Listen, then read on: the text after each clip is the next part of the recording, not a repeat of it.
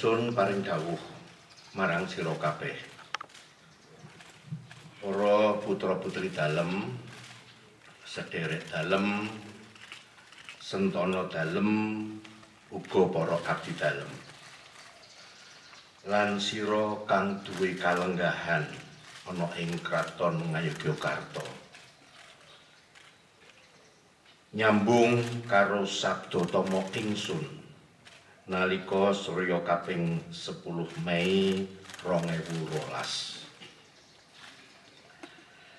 mangertiya ingsun uga netepi pranatan paugeran lan janjiku marang Gusti Allah Gusti Agung kang kuwasa cipta uga para leluhur-leluhur kabeh.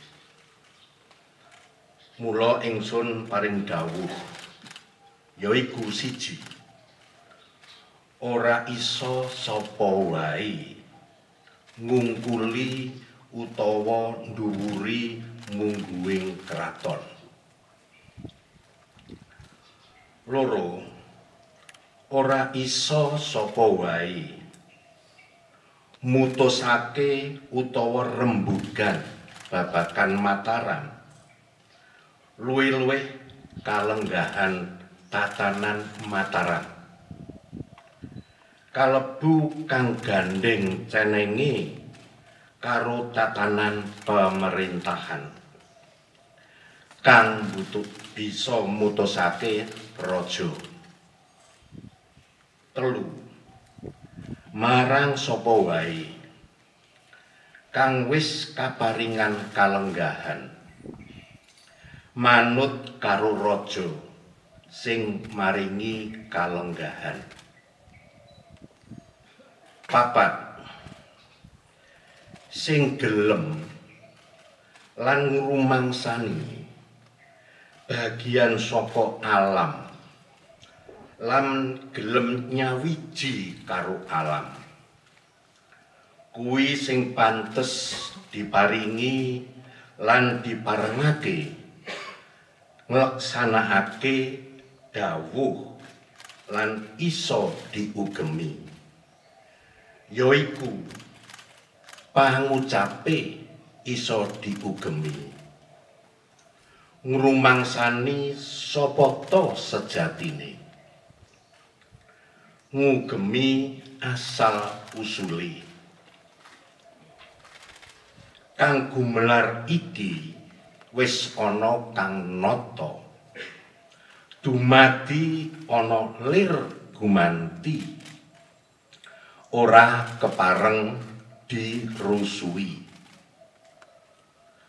Limo sing disebut tedak turun kraton. Sapa wae? Lanang utawa wedok.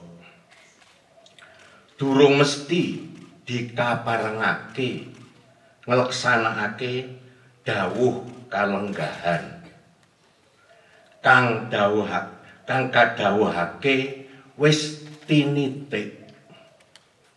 Dadi yen ana kang omong babakan kalenggahan nata nagari Mataram sapa wae? Luwih-luwih pangageng pangembating praja ora dikaparengake. Lire kleru utawa luput. Enem. Anane sabda tama. Kanggo ancer-ancer parembagan apa wae. Uga paugeran kraton. Semono uga negara nggunakake undang-undang pitu. Sabda tama kang kapungkur kawedarake jumbuh anane undang-undang keistimewaan jumbuh andane anane perdais lan danais. Wolu. Yen butuh benerake undang-undang keistimewaan dasare sabdo tomo lan nguwai undang-undangi kuwi kabeh dawuh kang perlu dimengerteni lan diugemi. Wassalamualaikum warahmatullahi wabarakatuh